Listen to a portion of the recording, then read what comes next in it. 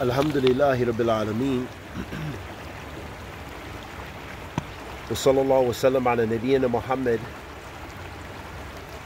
وعلى آله وصحبه وسلم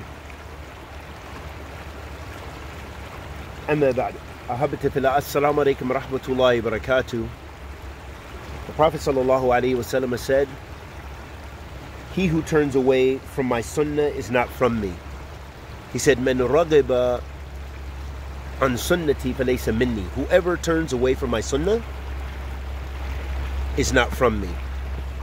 This shows us the importance of adhering to the sunnah of the Prophet sallallahu alaihi wasallam, which I think is no mystery. It doesn't take in-depth explanation, but it's a reminder. It reminds us that we need to always try to come back in our lives to the book of Allah and the sunnah of the messenger of Allah sallallahu alaihi wasallam. We should not desire an alternative path. The Prophet alayhi Abdul Salatu Wasalam also said, Ahabatifillah, in the hadith of Abu Hurairah radiallahu ta'ala anhu, the Messenger of Allah sallallahu wasallam said, all of my ummah will enter paradise except those who refuse. It was said, who will refuse? He replied, whoever obeys me enters paradise and whoever disobeys me has refused. And this is in Bukhari.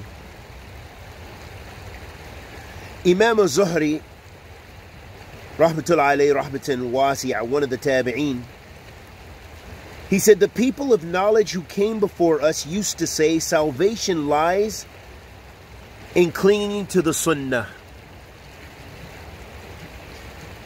And this is reported by Ad-Darimi in his Sunan.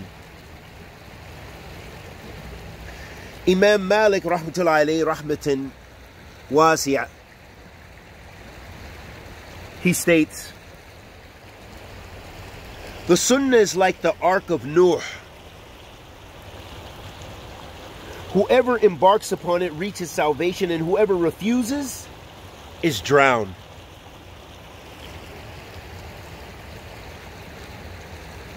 All of these narrations from the sunnah of the Prophet ﷺ to those athar of, of the Salaf, they show us the importance of striving in our lives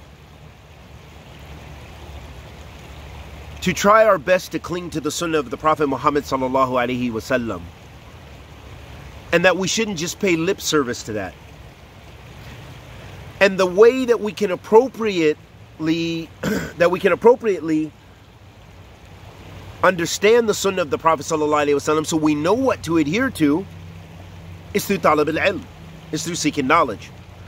So that's why I advise myself and my brothers and sisters to seek knowledge, to strive and use some of your time throughout the day to read from the book of Allah and the sunnah of the Messenger of Allah sallallahu and the aqwal of the ulama and the statements of the scholars in order to understand those divine texts and to be able to contextualize the divine text. That is how, by raising your level of knowledge, you'll know, number one, what the sunnah is. Secondly, you will gain insight in how to practice the sunnah of the Prophet sallallahu alaihi wasallam.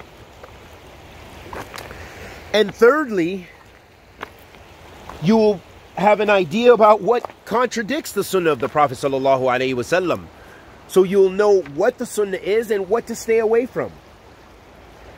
That only comes through ilm nafiya.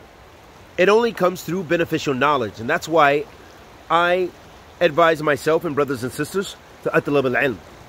To do some seeking of knowledge. Reserve some time throughout your day to read, to study, to come closer to Allah subhanahu wa ta'ala. That's why I enjoy teaching, to revise the book and the sunnah and the understanding of the Salaf of this ummah because we need that. We need that reminder. We need to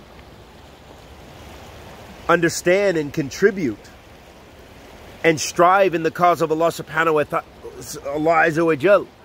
And that only comes through ilm nafi'ah. It only comes through beneficial knowledge, knowing and understanding what the sunnah of the Messenger wasallam.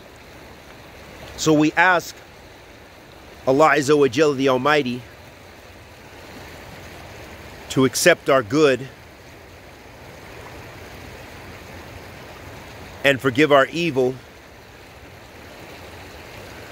and bless us with ikhlas wa thabat, and raise us up amongst the ranks of the righteous so that way we can be better slaves of Allah Ta'ala, worshiping Him and Him alone, alone and calling to the sunnah of the Prophet Sallallahu Alaihi Wasallam based on ilm wa fiqh wa basira and not our desires. وصلى الله وسلم على wa محمد wa آله وصحبه wasallam.